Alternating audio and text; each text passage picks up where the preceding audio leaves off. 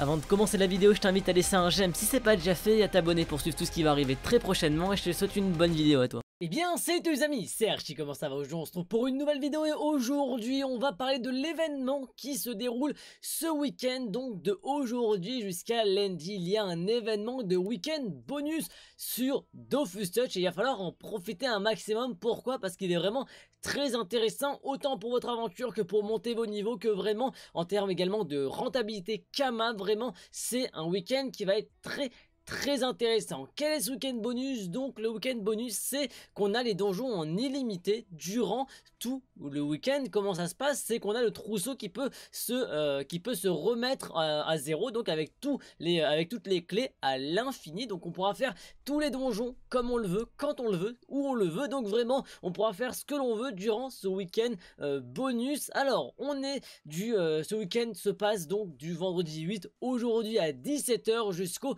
lundi 11 à 9h du matin. Donc voilà, vraiment, on a 3-4 jours vraiment où on va pouvoir vraiment expérimenter un maximum euh, tous les donjons. Pourquoi on a cet événement là Bien évidemment, une petite explication, c'est qu'on a eu la grosse mise à jour Caredas qui s'est déroulée mardi dernier et on a eu la refonte totale de tous les donjons qui sont passés donc de 5 euh, parfois 7 ou 8 salles à tous les donjons passent à 3 salles, peu importe lesquelles, il y a quelques exceptions bien évidemment, il y en a 3 ou 4 mais en soi, tous les donjons sont passés à trois salles et pour qu'on puisse tester tout ça et expérimenter un petit peu la nouvelle expérience autour de Dofus Touch un peu plus mobile, du moins avec sa vision plus mobile qui s'adapte un peu plus à la plateforme, on va pouvoir tout tester, tout essayer à l'infini. Tous ces donjons là sont en illimité, ouverts à tous.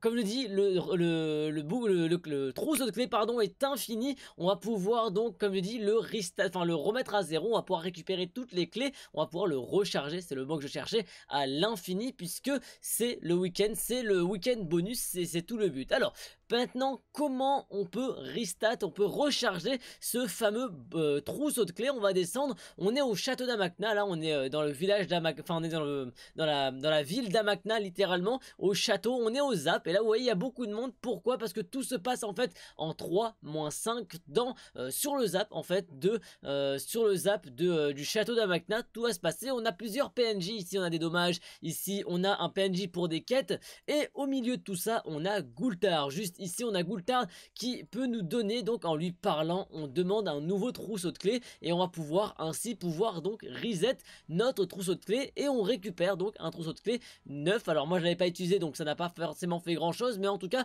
on a récupéré un nouveau trousseau de clés. Regardez vous avez perdu l'ancien trousseau de clés vous avez récupéré le nouveau. Maintenant on peut retourner faire les donjons en illimité. Donc si vous, voulez faire par exemple que par exemple le donjon Tofu tout le week-end et eh ben vous pourrez faire le donjon revenir au château d'Amacna recharger votre, euh, votre trousseau, repartir. Et ça, vraiment, vous pouvez le faire sur tous les donjons.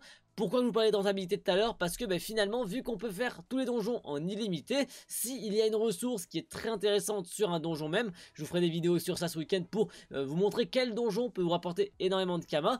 Euh, vous pourrez donc aller le faire, le farmer, revenir ici, recharger, repartir et ainsi de suite. Et à la fin, avoir la ressource même qui vous rapportera beaucoup de Kama. Et ainsi, vous pourrez avoir un maximum de bénéfices grâce à ce week-end bonus. Voilà, en tout cas, j'espère que ça vous aura plu. N'hésitez pas à laisser un j'aime et un commentaire jusqu'à penser la vidéo également à vous abonner pour ce qui va arriver prochainement en termes de tutos, d'astuces, de news. Les nouvelles aventures vont recommencer euh, sur la chaîne YouTube, donc n'hésitez pas à rester connecté pour suivre tout ça en vous abonnant à la chaîne YouTube, en description de ma chaîne Twitch, on en live tous les soirs, n'hésitez pas à venir nous rejoindre, vous avez aussi mon compte Twitter, vous avez aussi mon TikTok, n'hésitez pas à suivre tous les, tous les comptes pour ne plus rater aucune information et surtout pour booster un maximum ma chaîne. J'espère que ça vous aura plu, en tout cas, merci à toutes les personnes également qui euh, boosteront la chaîne sur les réseaux sociaux, merci pour le soutien que vous apportez. J'espère que ça vous aura plu, moi vous pour une nouvelle vidéo, et ciao tout le monde.